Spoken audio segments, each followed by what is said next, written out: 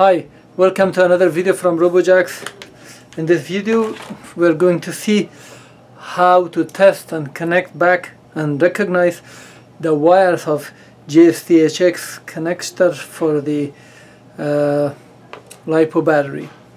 So this was from a crash and this is this was cut from the mid was cut from there but let's assume that the plug goes away and you don't know which wire is which. So there are some discrepancies though. This is now as you can see this is Turnigy Nanotech uh, and the wires are this has already charged I want to make sure that I did don't touch. So the, as you can see they're black white blue and green. And also I have another Turnigy here. This one however doesn't have the same color. So this has now yellow. This is also three cell. Black yellow blue and red. Instead of white it has yellow. And now I have another battery from uh, Walkera and Walkera has white white. So so there, it means that there is no convention even amongst the Turnigy which is from the same brand they don't follow the same color convention. But in this battery you see they followed it. So regardless let's see how we can test it. One way to identify those cells is that because this is three cell we have common usually black is the common one. So the voltage adds up one cell two cell three cell as if if you put on top of each other so but the best option would be to have a multimeter. So now I'm turning the multimeter on. So just take the probe and then measure between the two the pins and by convention let's start with black. So I'm holding the black and then checking any of those. Let's say if I start here as you can see it shows 12.1 so it means this is the third cell so here is uh, I created this diagram the voltage for one cell is 3.7 volts.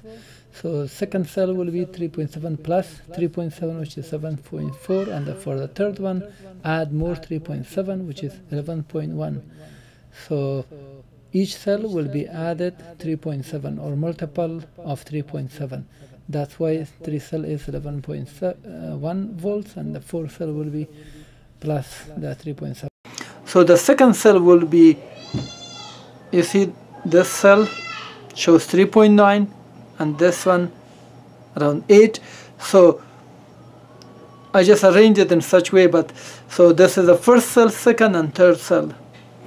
Okay so how we connect those wires to the actual JST-HX um, connector that you get?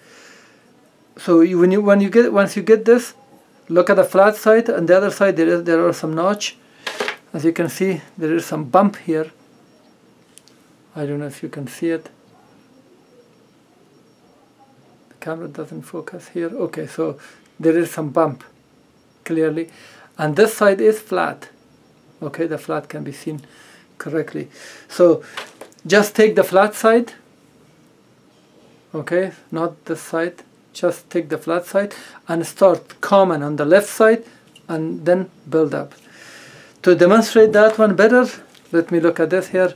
You see I've taken the flat side and here there are two bumps so this goes directly when you connect it to the charger. Those two small threads or notch or hole makes this one fit. So you cannot put it reverse so I'm putting, I'm holding it in this side. When it's flat, black here is on this side or common is on the left side and then we measure. So this is now showing the three cell, all 12 volt and each 4 volts and you can see cell 3 also 4.1 volts. So I will just solder this and then come back here and then we will measure the voltage. Okay, I've soldered the battery here now as I mentioned here on the left I put the black one and so forth. So let me just connect this. I hope this has a, some, some charge. So 3 cell all 12.1 first cell 4 volts second 3.99 which is 4 and then so that's good. So this is connected thank you very much. So if you like this video please thumb up and also please subscribe channel if you haven't done so